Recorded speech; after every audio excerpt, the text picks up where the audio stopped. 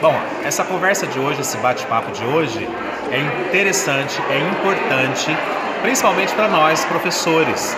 Né? Hoje nós vivemos num momento difícil onde as questões próprias do ser humano estão muito abaladas.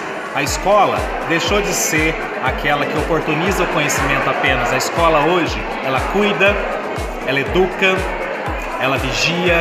Então a escola hoje, nessas múltiplas funções, faz daqueles agentes, daqueles, daquelas instituições, pessoas cansadas. E corremos o risco de nos tornar depressivos, frustrados e até nos decepcionarmos diante de toda essa estrutura que é apresentada. Portanto, é preciso essas paradas para refletir, para pensar, para trocar ideia, para amadurecer e aí sim a gente permanecer nesse sonho de fazer uma educação de qualidade na nossa cidade.